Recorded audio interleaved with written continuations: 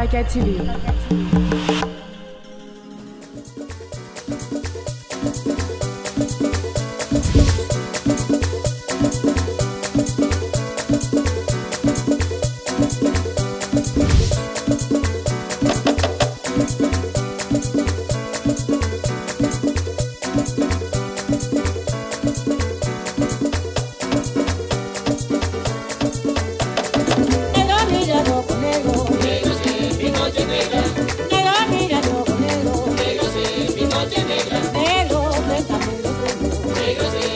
que me muero de